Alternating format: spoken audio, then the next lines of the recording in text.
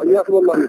الشيخ محمود عبد الكريم بن موسى له نشاط ويقول أنها يعني من طلابكم أنكم تزكونها يعني. لا أزكيه. أنا لا أزكيه منذ استمر في أبي الحسن. قدام قبلها ممكن. أنا لا أذكر.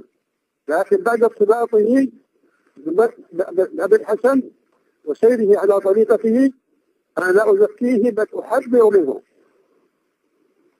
بارك الله فيكم جزاكم الله خيرا. حياكم الله. الله يحفظكم ويثبتنا وإياكم يا شيخ.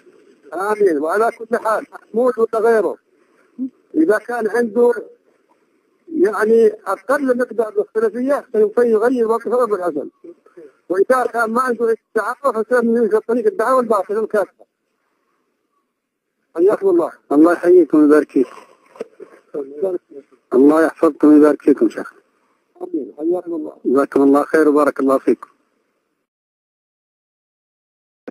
الشيخ عبيد. تفضل يا أخي.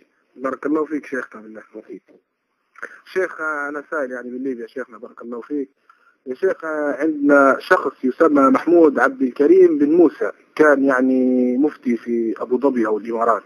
مفتي؟ من عينه مفتي؟ كذاب ما كان مفتيا. يعني ما هو صحيح. هذا هذه هذه كافية في عدم الثقة بالرجل. والرجل غير مرضي عنده غير مرضي عنه عندنا. نعرفك أنا من طلاب كلية الدعوة في الجامعة الإسلامية.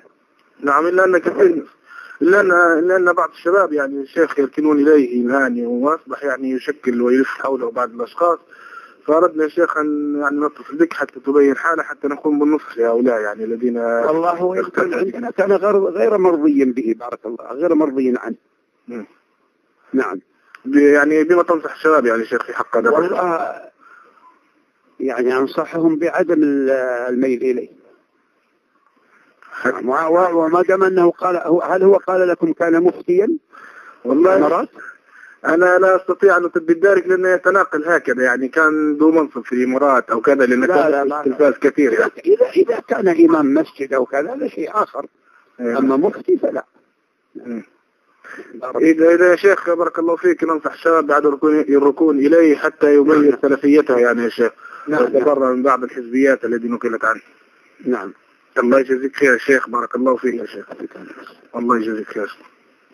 السلام عليكم. وعليكم السلام.